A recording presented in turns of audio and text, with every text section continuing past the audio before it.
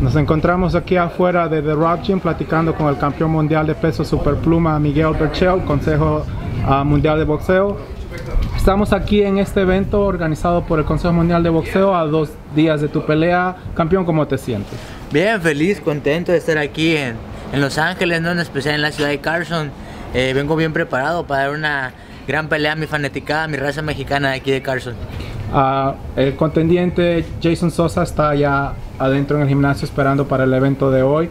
Dice que viene en su mejor preparación, que va a dar una gran pelea. ¿Qué piensas tú de esos comentarios acerca de Jason Sosa, un ex campeón mundial que quiere darte lo mejor de sí esta noche? No, lo respeto mucho, ¿no? Él tiene que estar en su papel, ¿no? Viene con mucha hambre, mucho deseo de llevarse el título, pero pues va a enfrentar a un campeón de lo más sólido que tiene México, voy por mi sexta defensa. Y pues bueno, sabemos que Carson es conocido como una zona de guerra, ¿no? Ha, ha habido muchas guerras aquí y el sábado no se pierdan esta pelea porque va a ser una más.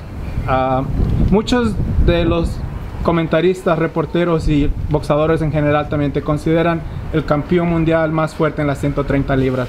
Uh, ¿Qué dices tú acerca de eso? No, pues se lo agradezco, ¿no? Ahora sí que los hechos creo que me han llevado, ¿no? A, catalogarme como el más duro de la división. Tengo 36 peleas, solo una derrota y tengo 32 por nocaut. Eh, creo que eso hablan de, mi peligrosidad, no de mi poder de puños. Y bueno, lo voy a demostrar este sábado una vez más. Eh, no sé si sea por knockout, no sé si sea por decisión, pero sí les aseguro que me voy a llevar la victoria.